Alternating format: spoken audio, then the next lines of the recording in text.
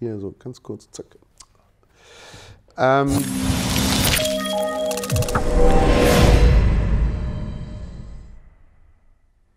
Hallo zusammen, ich habe heute das Pro-Set von der DSA für euch, unser Sparpaket im High-End-Segment. Hm, fangen wir an mit dem Herzstück der DSA, die wirkliche Neuerung im Markiererbereich des Jahres, nicht irgendein Facelift, nicht irgendein Update, sondern wirklich innovativer, neuer Markierer.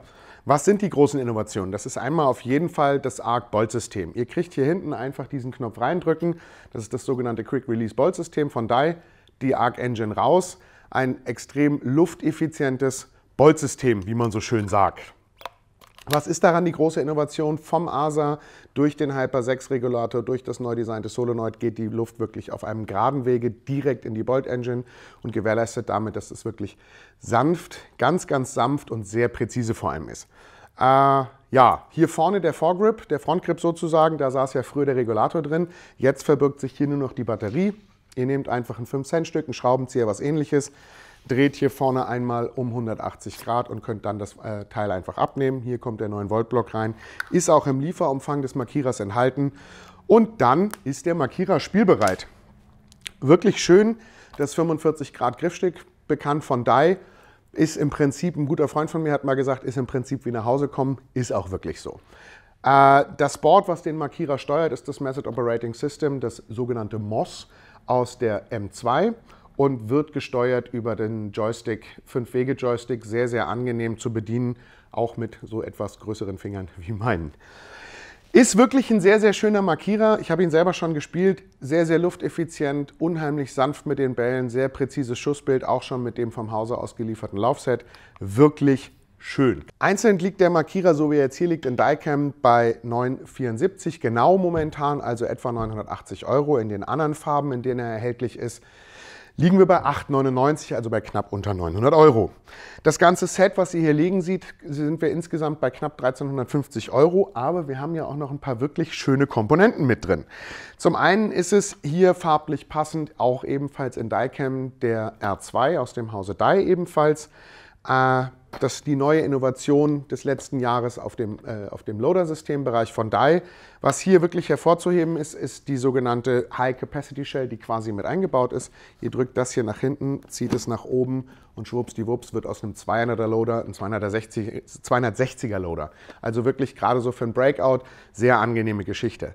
Ansonsten auch schon wie der R1 und auch der LTR aus dem Hause Dye ist auch der R2 komplett werkzeugfrei äh, auseinandernehmbar und wartbar. Ihr braucht also nicht irgendwo noch ein Schräubchen drehen oder sonst irgendwas, sondern es ist wirklich werkzeuglos verbaubar. Was sind noch große Geschichten beim R2? Es ist, möglich, dass er euch den, den Ballstand anzeigt, beziehungsweise euch mitteilt, wenn der Ballstand zu niedrig wird, was für viele doch sehr angenehm ist, gerade bei dem doch relativ kleinen Sichtfenster des R2. Was ich auch noch sehr schön finde, hier hinten über eine dann rot aufleuchtende LED äh, zeigt er einem an, wenn der Batteriestand alle ist. Ist einfach, ich sag mal, im, im Loader-Bereich eines der Nonplusultra-Produkte. Ja, das, was wir noch haben, ist die Ultralight Ergo-Flasche 1,2 Liter aus dem Hause Dai. In dem Fall mit der Ergo-Variante, die ist ein kleines bisschen länger.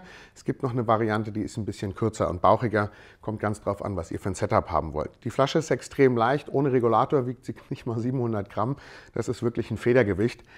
Äh, und momentan haben wir drauf verbaut den neuen 300 Bar Regulator aus dem Hause Proto. Ihr könnt natürlich auch jeden anderen 300 Bar Regulator nehmen. Und der letzte Set-Inhalt ist die i5, in dem Fall ebenfalls passend in Dicam. Mitgeliefert werden einmal ein Maskensack und was ich als Kameramann oder als äh, Videotreibender sehr schön finde, gleich eine Aufnahme für eine Kamera. Da wird hier das DAI-Logo ausgetauscht. Das kommt dann hier außen dran, sodass ihr GoPro oder ähnliches direkt an der Maske festmachen könnt, ohne euch irgendwas zu basteln müssten. Haben die Leute mal mitgedacht. Was ist sonst für die Maske zu erzählen? Die ganz große Neuerung äh, ist natürlich das Maskenstrap, äh, was nicht mehr einfach nur auseinanderziehbar war, wie wir es von den alten kennen, sondern man hat hier hinten das äh, Drehrädchen, womit man dann äh, die Enge oder Weite des Straps wirklich gut am Kopf anpassen kann, auch durch den großen Wulst hier hinten. Das sitzt einfach sehr, sehr gut. Ich bin hoch begeistert. Man braucht kein zweites Maskenstrap mehr. Die Maske bleibt einfach da, wo sie hingehört. Daher, handels, äh, daher üblich ist äh, das wirklich sehr ergonomisch äh, angepasste äh, der, der Form, der Schaumstoff, der im Gesicht sitzt, passt auf ganz, ganz viele Gesichtsformen, sogar meine.